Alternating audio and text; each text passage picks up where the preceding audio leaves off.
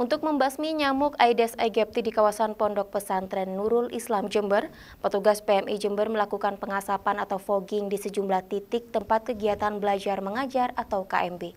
Kegiatan ini sebagai langkah preventif pencegahan setelah satu dari 2.500 santri yang ada di asrama terjangkit demam berdarah.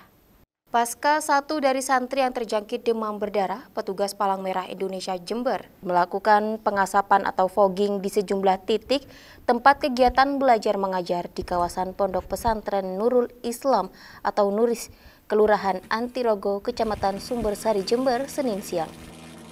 Pelaksanaan fogging ini dilakukan di seluruh area pondok pesantren seluas 4 hektar ini di fogging dari ruang kelas, laboratorium, ruang guru, asrama santri hingga kamar mandi menjadi sasaran dalam upaya membasmi sarang nyamuk Aedes aegypti. Kegiatan pengasapan atau fogging ini merupakan langkah awal tindakan preventif untuk menghindari ancaman penyakit demam berdarah. Apalagi satu dari 2.500 santri yang ada di lingkungan pondok pesantren ini terjangkit demam berdarah.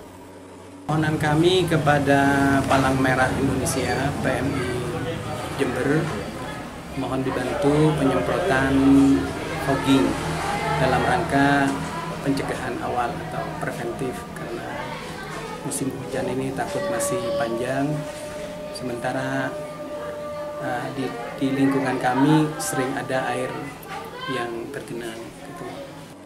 Tak hanya melakukan pencegahan dengan fogging, Pihak pondok juga meminta santri yang ada di lingkungan pondok pesantren untuk menerapkan pola hidup bersih dan sehat yang salah satunya adalah membersihkan genangan air yang di musim penghujan ini banyak ditemukan.